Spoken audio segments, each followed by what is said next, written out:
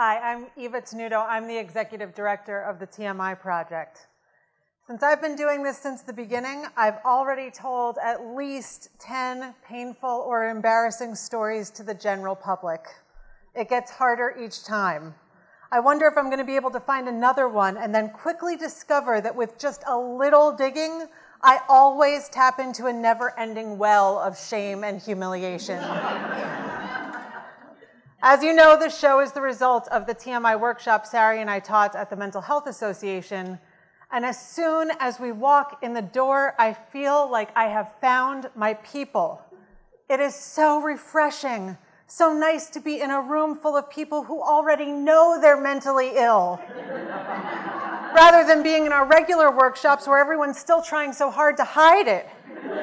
More than half of our work is done right up front.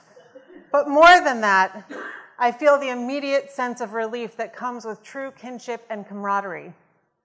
Recently, there's been a lot of talk in the news and on Facebook about demystifying mental illness. And it's then that it occurs to me that the main reason I use Facebook is to cover up my own mental illness. I mean, I have this job in the truth telling business, but I also have a background in marketing. I want to tell the truth, but I want to look really good doing it. Recently, an old high school friend called and said, I can see from Facebook that you are doing fabulously. uh, yeah, fabulously. it catches me off guard. She thinks because she sees all these pictures of my nephew's sleepovers and Julie and me on all of our dates looking all blissed out in love. And it is true, my nephew is cute and my fiance and I are in love, but I don't post things like, Julie and I have slept in separate rooms for the last three nights because we got into a fight and have triggered each other so badly that we both actually think the other is our mother. Neither of us want to sleep with our mother, so we're ever so grateful for the guest room. Click. No, I don't post things like that. I post the engagement pictures and keep that little mentally ill morsel to myself. I went through a rough spell this summer after one of my dearest friends, friends passed away. I post a picture of the river view from my hammock and write, I would pay the mortgage on the hammock alone. What I don't post is, despite the July heat, I find it hard to do much else since Gabriel died than to wrap myself in a blanket and rock in a hammock like an inconsolable baby in a mother's arms. My increased need for comfort during this time of grief reminds me of when I was a nanny in the city in 1997, right after my grandmother passed away. I wish I had a nanny of my own and she could push me around in a stroller. Then I realized that strollers for adults are called wheelchairs, and I better be careful what I wish for. I've had depression for a long time, depression of the clinical variety. My mother used to say to me, Oh, are you feeling blue again? Blue? Are you serious? Blue is the word that you choose for this disaster that sits before you? Well, what? You think that when you feel blue, it's worse than when other people feel blue? No. I think that when I feel blue, it's exactly the same as when other people feel blue. And when I feel clinically depressed, it's exactly the same as when other people feel clinically fucking depressed. Oh, well, if you put it that way. There is really no other way to put it. I remember seeing Oprah do a show of the inspirational variety about a guy with no legs running a marathon.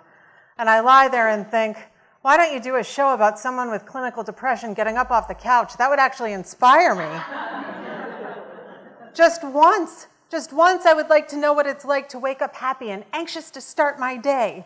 I wake up depressed because, oh, fuck, another day is starting. I'd like to know what it's like to do laundry and as soon as it's dry, take it out, fold it, and put it away.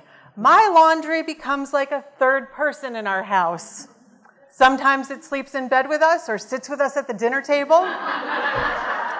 Sometimes it lies on the couch and watches movies with us. It rarely takes a quick and efficient trip right into a drawer. It's like putting a bill in a mailbox. It's so close, but so far away. For so long, I'm morally opposed to taking medication. Pharmaceutical companies are trying to take over the world. They're trying to control us, overprescribing, so we stop feeling and become complacent and they can own us. And I won't do it. No, I will not. I will not be owned by a drug. Yes, I'd love another glass of wine. Keep it coming. I'm not okay taking antidepressants, but I'm fine guzzling bottle upon bottle of what may as well be labeled depressant. Maybe all the conspiracy theories are true, but it's also true in my experience that if there's a chemical imbalance and it doesn't get balanced, nothing else seems to work. I did try other things before I gave in. St. John's wort was a total waste of money. I start jogging. I mean, it's supposed to be physically impossible to feel depressed with all these endorphins, right? Well, Every day, I jog around Prospect Park, past the carousel, past the playground, the pond, and for all three and a half miles, I cry. I am defying laws of nature. I cry everywhere in the laundromat, the gym, restaurants, bodegas, you name it, I cry there. It's particularly bad when I'm teaching preschool and cry more than the kids in my class. I hide in the corner of the playground hoping none of them will notice. But one little kiss ass always has something to say. Hey, Miss Eva, are you okay? Why don't you try using your words?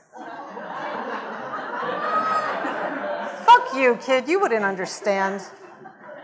I hit my low at the apartment right under the BQE between Williamsburg and Dumbo. We call our neighborhood Dumsburg.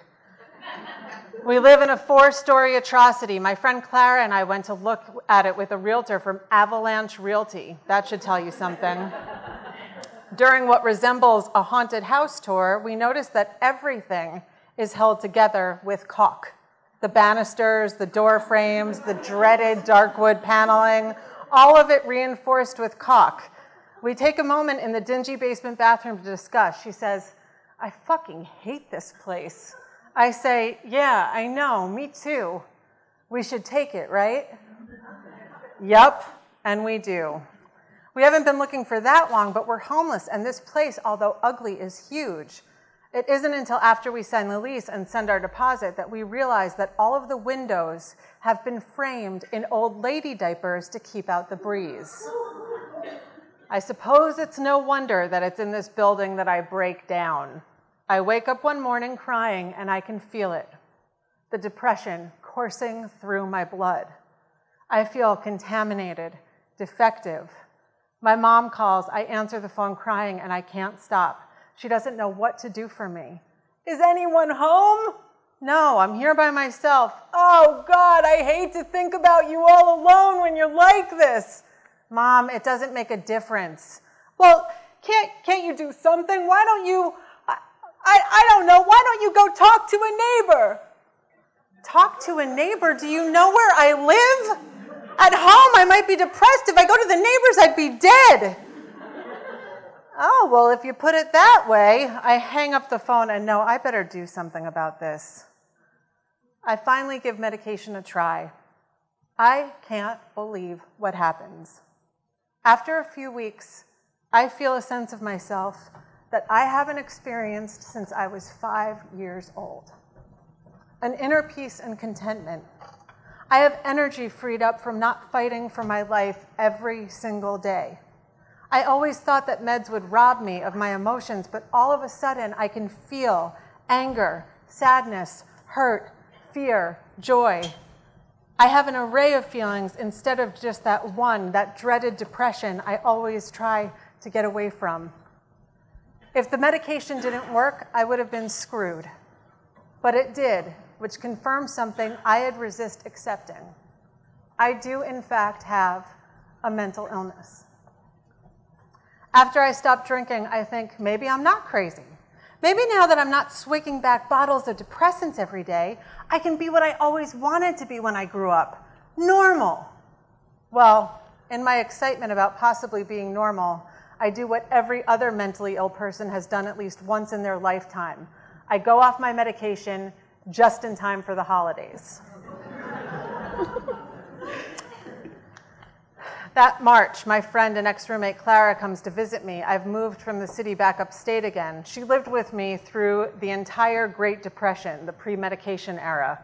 She knows the signs, not that it takes an expert. She knocks on the door. I, I try to get up, but my cheek is like glued to the upholstery. Ugh. Fuck it. Come in. She comes in and she goes to turn on one light and then another, but all of the bulbs are busted. The apartment smells like garbage. She has to tell me because in my state I don't know. Eva, you don't usually live like this. I don't. Are you sure? I'm sure. You have to go back on your medication. Years have passed, and for the most part, I'm doing well. Although things can trigger about, like the death of a dear friend.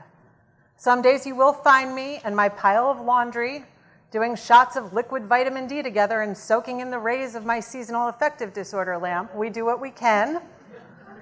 I sometimes wish that I didn't have to take meds, but then I look at the life I get to lead with them.